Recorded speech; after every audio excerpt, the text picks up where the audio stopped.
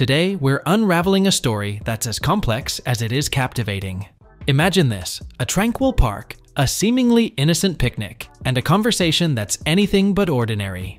We're talking about Amy Roloff, her husband Chris Marek, and her ex husband Matt Roloff.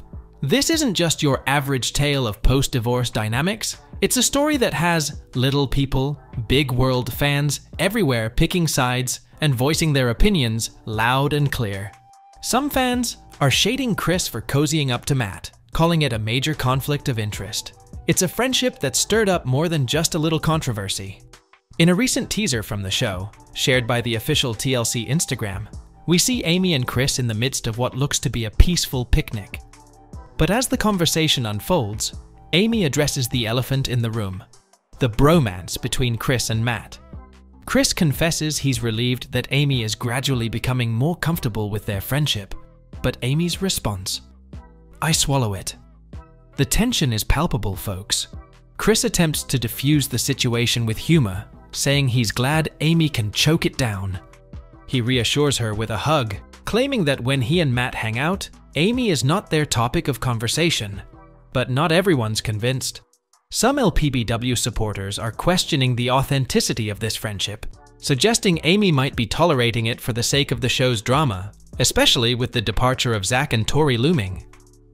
Let's not forget the backdrop to this story. Amy and Chris got hitched in 2021, marking a new chapter after her divorce from Matt in 2016. Amy, a culinary enthusiast, runs Amy Roloff's Little Kitchen, with Chris often appearing as the taste tester. However, a recent revelation has added another layer of intrigue. Amy's use of her married name on business paperwork has been inconsistent, sparking curiosity and speculation among fans. Now, let's dive deeper. This situation isn't just about a picnic or name changes, it's about relationships, boundaries, and how they're navigated in the public eye. Chris and Matt's friendship, innocent or not, raises questions about respect, boundaries, and the complexities of blended family dynamics. And Amy's name situation? It could be a subtle hint at her struggle to define her identity amidst these changing relationships. So, Here's where I turn it over to you. What do you think about Chris and Matt's friendship? Is it a simple case of moving on and building new relationships? Or is there more at play here? And Amy's decision to sometimes use Marek and sometimes not. What message do you think she's sending?